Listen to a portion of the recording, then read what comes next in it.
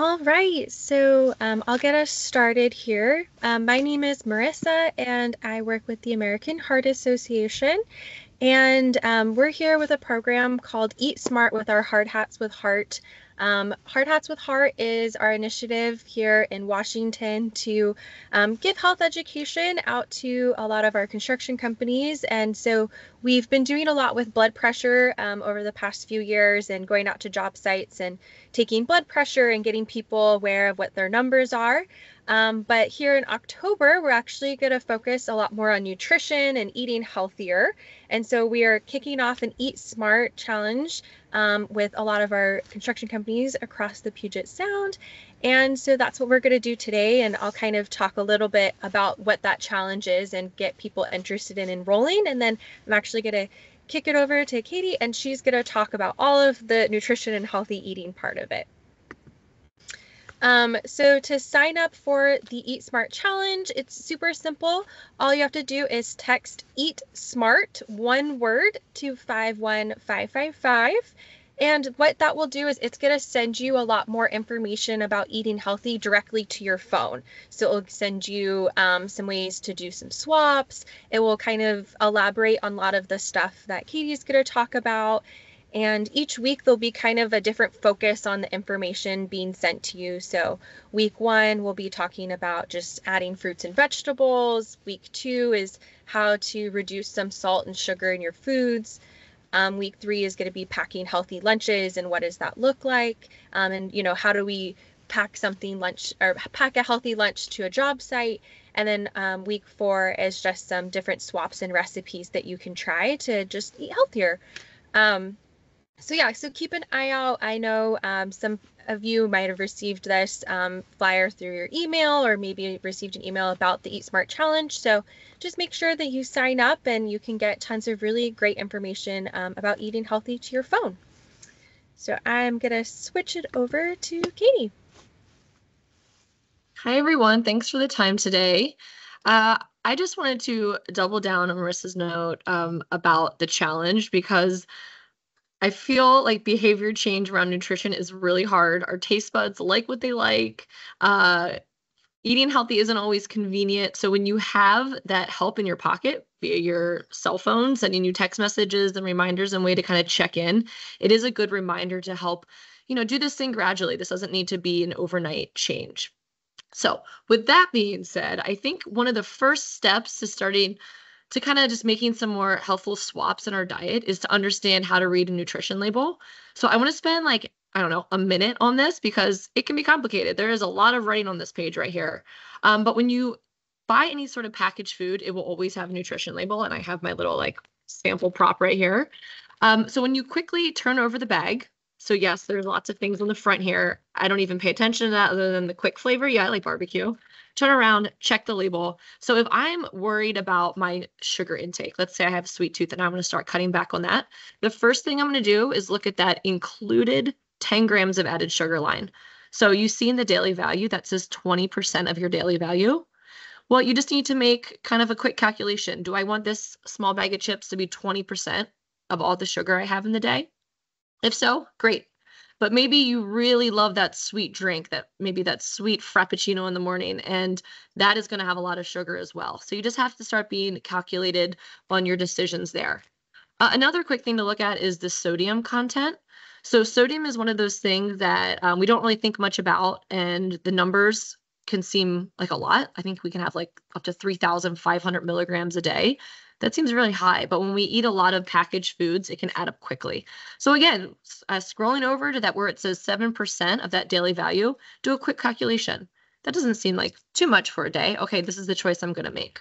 Um, and then for calories, this was a hard one to calculate because calories is just a, a, product of energy, how much body, how much energy your body needs, um, basically to do what it needs to do every day. Um, but one thing that is kind of in coordinates with calories here is that serving size. So if the serving size of a bag of chips is 230 calories and you're eating two bags of chips, you got to remember that that number automatically doubles, right? And then 460 feels like a lot more than 230. So just being quickly mindful of maybe how much we're eating. Um, are we drinking a whole drink, a whole, you know, 42 ounce bottle of Coca Cola when really that's meant to be enjoyed in a couple couple servings. Um, so that would be the first thing about the um, nutrition label. Don't overthink it, but those are a couple line items to be mindful for. And then we'll move on to the next page. Okay, so this is my favorite page because really when we eat more fruits and vegetables, we are immediately doing so much for our body. Uh, typically, when we're eating more fruits and vegetables, it means we're eating less of the processed foods. So right there, we're already making a really nutritious, nutritious, helpful switch. Also, a lot more evidence is being shown when we eat more fruits and vegetables. It is doing incredible things for our gut, which therefore does incredible things for our mood, for our brains, for our energy. So if you're like me some days and just the clouds come in and you get really tired middle of the day, um, it might just be because you don't have enough nutrients in your body. So reaching for something that is colorful, um, you know, a pack of carrots, a handful of cherry tomatoes, a banana, an apple, that's really going to provide you that energy boost that you need. Um, and then again, fiber. Fiber is something that our bodies need, our guts need it, and really it only comes from fruit and vegetables and whole grains. So if we're not getting enough of those in our diet, um, we're really doing a disservice to our to our guts, to our GI tract, um, and really to our minds. So one quick life hack here swap out one bag of processed food for a handful of veggies and you are going to be doing a great thing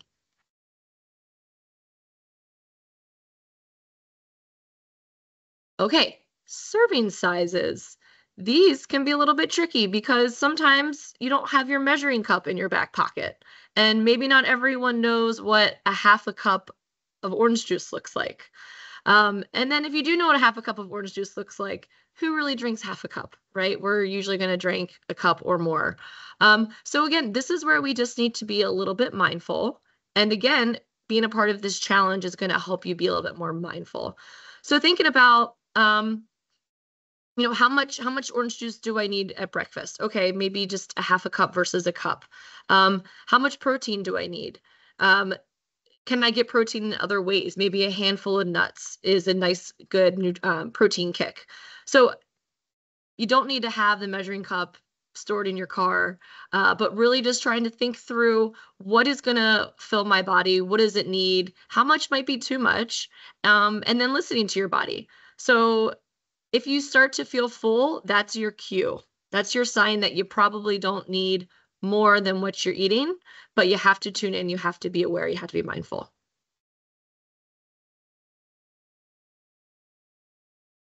The sodium, the sneaky sodium.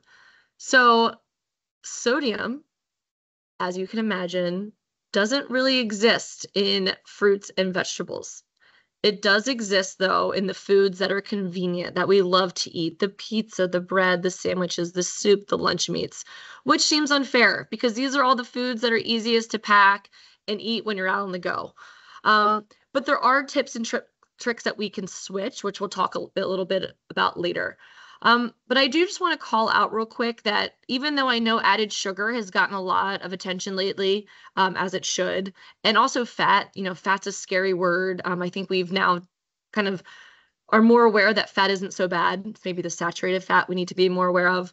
And now I think we're shining a little bit more light on sodium. So sodium is linked to risk of stroke, heart failure, and elevated blood pressure, which I know um, there has been some push to to have you all check your blood pressure, be more aware of what's going on there. So sodium will play a role in keeping your arteries healthy, keeping your blood pressure where it needs to be. So that's why we want to spend a, few moments on um, sodium today.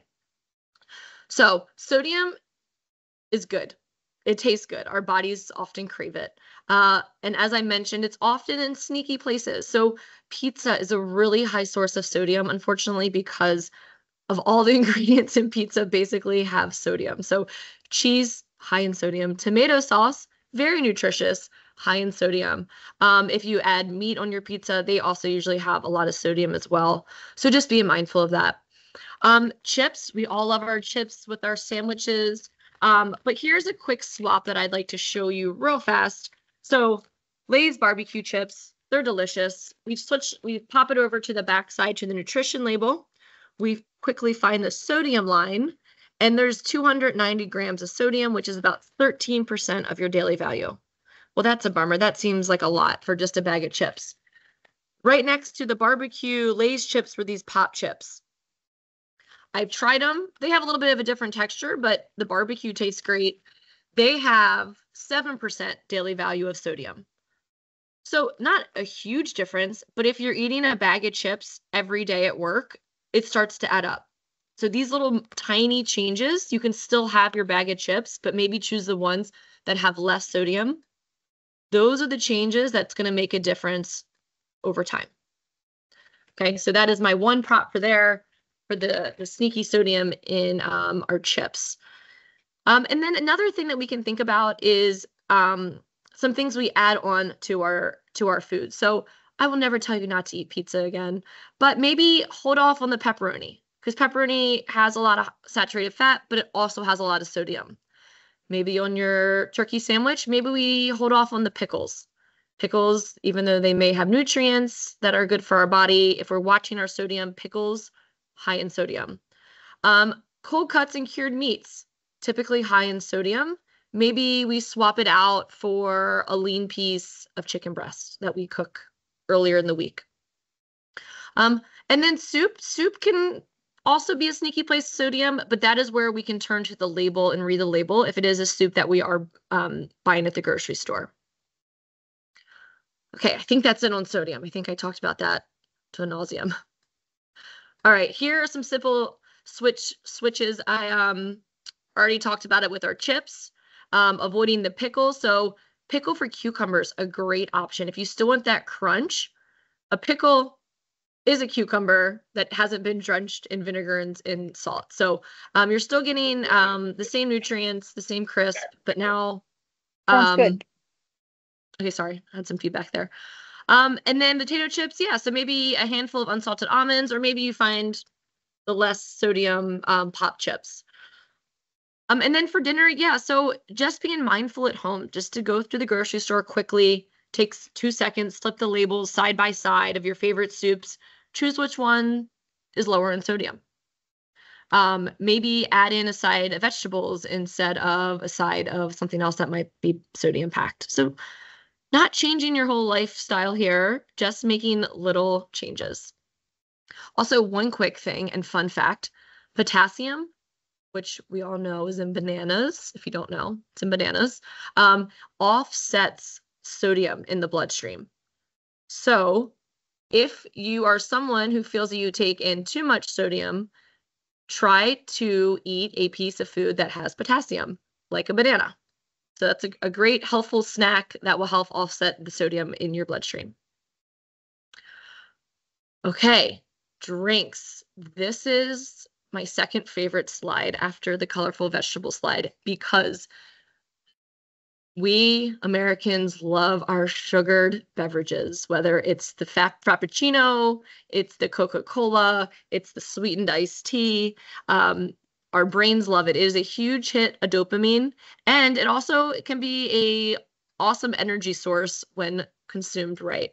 So I imagine that many of you have early mornings, have late nights, and coffee is a go-to. Coffee is actually um, a great source of caffeine. It can also be hydrating.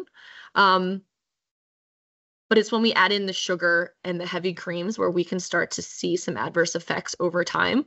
So this is my challenge for you. If you're someone who drinks that cup of coffee in the morning and you put two scoops of sugar in it, maybe this week you only put one scoop of sugar in it. Maybe if you're the person that loves this sweet Snapple tea, maybe next time you turn the label over and you realize that it has 99% of your daily value of added sugar. So drinking this basically puts you at the limit for your added sugar for the day which is a big bummer, especially if this is something that brings you joy. So maybe instead of never drinking this again because your taste buds crave this and want it, maybe you ration it out a little bit. Maybe the first week you only drink half a serving, right? So you drink half of this bottle and you'd also save money. Um, maybe then after that, you drink a quarter of the bottle until your taste buds start to adjust Maybe you really love that peach flavor and you can switch to something that is a little bit flavorful because sometimes water is just boring. Um, but our hint water here, peach flavored, same as our iced tea, has zero calories, zero added sugar, zero sodium. Yes, switching from this to this is hard, but it's easier when you do it over time. And with our challenge, about a four week long challenge, these are little little baby steps you can make throughout the the month that will help limit the added sugar, maybe limit the sodium, and start putting you on the right step to just a healthier overall lifestyle. Also, according to the picture here, I see the lime in the water. This is another life hack. Sometimes when you're out and you're working hard and you need to be hydrated, drinking water is just sometimes boring, frankly. Um, so something as simple as just squeezing a little bit of lemon in your water can be a nice little like taste bud kick in um and recommended. Or bubble water as well. It's also um if you drink club soda, not tonic water, um, zero calories, and sometimes the fizz is a nice kind of energy boost. Okay, that is it for the smart water. All right. Buying lunch, packing lunch. Uh, this is challenging because a lot of the foods that we need to throw into um, our lunch boxes have to have to be cold. They have to be heated, um, which can make it a little bit challenging. But I wrote down some ways to try to think through the week um, and make some more healthful decisions for your lunches. So I think a go-to is just like a turkey cheese sandwich. As we talked about, turkey, uh, processed meat can be high in sodium. Cheese can also be high in sodium sometimes. Um, so instead, maybe making, um, you know, grilling up five pieces of lean grilled chicken breasts for the week, and then making a chicken breast sandwich. You can still have some cheese, maybe you put a little mustard or mayo, um, some lettuce, that might be a really good um, alternate to those processed meats. High in protein will keep you full throughout the day. Um, nuts are a great snack. And sometimes, if you're not used to it, they're not going to be the most uh, I guess like satiating at first. They might you might miss your barbecue Lay's barbecue chips, um, but after a while you will start to crave them. Your body will start to appreciate the lean protein you're giving it, um, and it also keeps you full. So if you're someone who eats a meal and then two hours later hungry again, it's probably because you don't have enough protein and fiber in your meals. So eating eating vegetables, eating plants, eating nuts is a way to help your body stay full longer. Um, hard boiling eggs. This is another great tip. Um, they don't have any sodium in them naturally. So if you hard boil the eggs and then add a little bit of salt yourself, um, that's a nice healthy snack um, full of protein, will keep you full longer. Um, and then let's see what else. Oh, for ordering out. So this is this is another place where it just takes tiny tweaks. So, um, pasta, burgers, Asian food, seafood, pizza, soups, vegan, yum, all of it. And it all can be done in a nutritious way. So, for example, the pasta, um, whole wheat pasta does not taste a lot different, especially if you have sauce on it. Um, but it has fiber. And when there's fiber in your belly and in your gut and in your stomach, you feel full longer. So you crave f- food less often. Um, so there's a great simple switch there if there's a whole wheat option. Um, another option for almost any of the takeout orders is see if you can't split it with a friend. I know this is like a taboo idea, but sometimes the meals are really big. And because they're there in front of us and we paid for it, we eat it, even if we're full after half of it. So maybe get a buddy, go halvesies, split it with a friend. And then if you're still a little bit hungry, pack some snacks from your home. It'll be more economical and it'll for sure be more nutritious. Um, and then same thing with like the pizza. Oh, I love a good pizza. I would never tell not tell anyone not to eat pizza, but maybe just think about the serving size. Do you need a whole pizza? Maybe half a pizza and then bring in from home an apple and some carrot slices. Um, maybe hold off on some of the processed meats because of the added sodium and saturated fat. And then I know I know sometimes vegan can be a scary word for people or vegetarian, but there are wonderful vegetarian options um, where you can pull back on some of the processed meats and the added sodium or the saturated fat by going with like an extra vegetarian pad thai or a tofu pad thai um, rather than like a beef pad thai. So simple tweaks there. This does not have to happen happen every day, every meal, but being mindful um, and just really just kind of thinking through how can I make slight changes to my diet every single day? Um, maybe just starting at one meal a day. And from there, you'll start to be empowered and start to see the change and feel the change. Um, and then it's just a trickle down effect from there. Um, I also want to call out some of the other um, opportunities where we eat food out um, because it's great to order that popcorn movie, you know, or the uh, popcorn at the movie theater. Um, and it's great to not to have to cook at home and order out. But really, when you order at the movies, for example, they're going to give you a bag of popcorn this big. And because you're sitting there watching a movie, you just might eat it all. Instead, order the big popcorn and then ask for an empty bag. Portion out an appropriate amount in the empty bag. Maybe so it's like a quarter of what you purchased. And then once you're finished that, you could be done.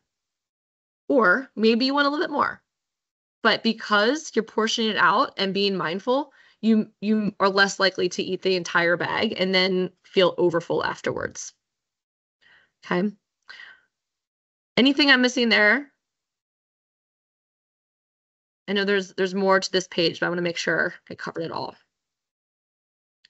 okay so the swaps um one thing that I try doing at my own house is um, homemade salad dressing. So I am a huge ranch fan, always have been. But when I can mix up a vinaigrette at home using about four ingredients, I feel very fancy and I impress everyone, even though it literally is like four or five ingredients. So all any of these sort of dressings can be found on the internet, but usually it involves some sort of oil, some sort of vinegar, a little bit of garlic, a little bit of salt, maybe some Worcestershire sauce or mustard. Um, so nothing that usually isn't already in your refrigerator at home. You mix it up, um, put on a salad, you impress whoever you're with. Um, one other thing, other we talked about drinks, so just kind of trading off half for half maybe until your taste buds start to adjust. Maybe one less scoop of sugar in your coffee, for example. Um, is making your own desserts at home. Um, one thing that we like to do in my house is just have smaller portions of what would already be a really good treat. So, shout out to Trader Joe's here. Trader Joe's has these delicious little chocolate Reese's cups that are about this big. It's hard to see. And sometimes at the end of a meal, we really want that sweet, savory bite of food. Great, go for it. But really being mindful of the size is going to help you reach your nutritious goals. So, grabbing one of those little sweet treat bites after dinner or after a meal is quite all right when you can sit there and take time to enjoy it. Um, also, frozen yogurt is another great place where you're going to feel like you're getting that nice, cold, fulfilling dessert, but doesn't usually have as much saturated fat. Um, I want to talk about yogurt for a second because yogurt is a nice, quick snack. It can be sweet, it can be savory. Um, one life hack that I have is to mix Greek yogurt, not regular yogurt, but Greek yogurt. It has a lot higher protein, it has a lot less sugar, but then you can mix in your own sweet treats. So you can mix in granola, you can mix in some nuts. Um, you can even mix in a scoop of um, jelly or jam. So I love to take a little teaspoon of jelly and jam, mix it in. So now I have a strawberry yogurt. I take a handful of granola, and now it has a little bit of a salty bite. Um, and it is an awesome snack. You can even kind of trick yourself into dessert. Maybe you throw some chocolate chips in there. Um, but really just a great way to feel like you're eating a nutritious meal that you can make at home um, and you know exactly what is in it. And yes, skip the candy when possible. Easier said than done, but small bites are better than eating while you're driving, eating when you're not paying attention. eating those candies while you're at the movie theater. So just being mindful.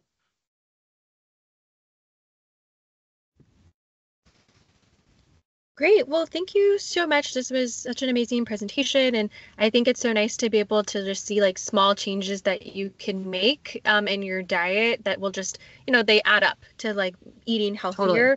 versus just like trying to do like a quick, like start from, you know, the bottom all the way up. But I know that we have a few minutes left for questions. If anyone has some questions that they would like to ask.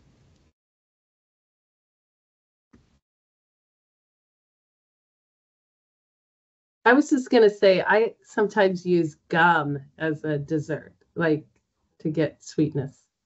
but but it's not yes. as bad eating something, you know, full of sugar.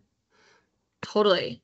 Yeah, sometimes our mouths just want to be busy, and sometimes we just need that little bit of dopamine that comes from sweet. Yeah, and, and if that is satiating to you and if that checks the box, that's a great little life hack. But I love that you're just like aware. You're like, this is all I need right now.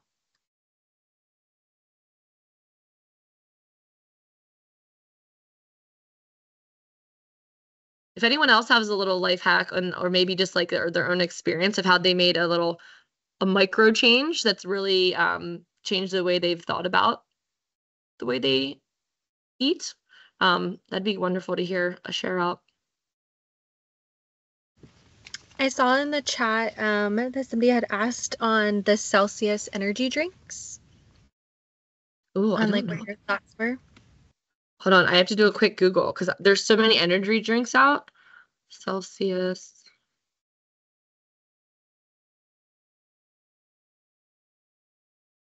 Oh, here, let me do nutrition label.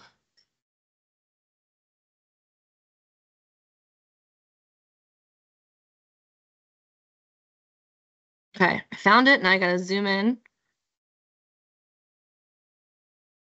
Yeah, so at, at first glance, this seems like a great option. The only thing that makes me a little it's hard for me to see, it's blurry. Some of the um I'm trying to see what the artificial sweetener is or if there is an artificial sweetener. I can't see it. It's too blurry. But my first pass is this is a great option. Um some of the energy drinks that are now available are I think they're doing really great things. They're adding in a lot of, of vitamins that boost energy, a lot of B vitamins. Um, they have caffeine, which is not necessarily a bad thing as long as you're not taking it too late in the day and it's affecting your sleep. Um, the only thing that would just make me a little bit like eh, hesitant is sometimes they add in a, a bunch of um, artificial sweeteners or even sweeteners from natural sources that some evidence shows if you have a lot of it, it can kind of tweak your taste buds. So over time, you will not get pleasure out of actual like sweet fruits and vegetables. So like a raspberry or a strawberry, for example, will lose its kind of excitement to you, and then you will not crave the sweets, the sweet um, fruits as you should. Other than that, I think Celsius at first glance would be a really great option.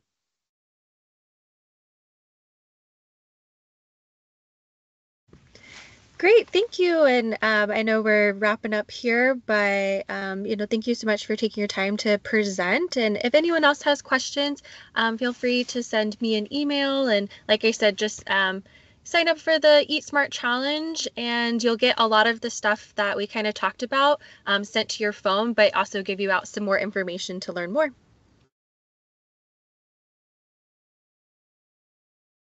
Thank you guys so much. Thank you, everyone. Have a great day.